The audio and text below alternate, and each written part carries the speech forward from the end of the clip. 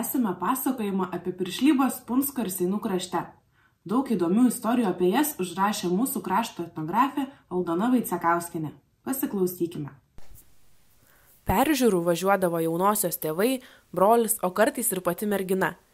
Peržiūrų metu reikėdavo patikrinti, ar piršlio nemeluota, apžiūrėti žemę, gyvulius ir pagaliau susipažinti su jaunojo šeimyną.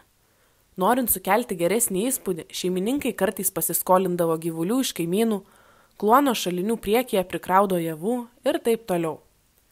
Peržiūroms ruošiasi abi pusės, jaunosios tėvai vežasi degtinės, o jaunojo ruošia vaišes ir taip pat stato degtinę.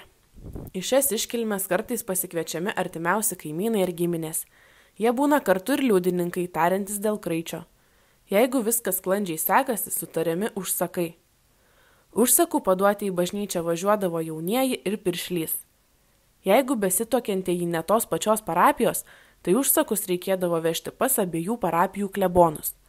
Prieš surašydamas klebonas klausdavo poterių ir katekizmo. Piršlio reikalas buvo važiuojant pamokyti šių dalykų. Taikėsi, kad klebonas nepriimdavo užsakų, liepdamas pasimokyti ir atvažiuoti kitą kartą. Už surašymą mokėdavo piršlys jaunikio pinigais. Užsakus klebonas skelbdavo tris sekmadienius iš eilės. Paskutinį užsakų sekmadienį jaunoji bažnyčia eidavo atitinkamai pasipuošusi.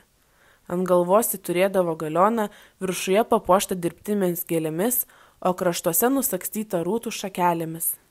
Užpakalyje prie galiono būdavo prisegama balto šilko kaspinų, vėlgi su prisakstytomis rūtų šakelėmis. Eidavo į lėdimą sesers arba artimos draugės – dažniausiai būsimosios vyriausiosios pamergės. Pasitaikydavo, kad einant užsakams vestuvės iširdavo. Tada jaunosios tėvai turėdavo užmokėti už išgertą degtinę.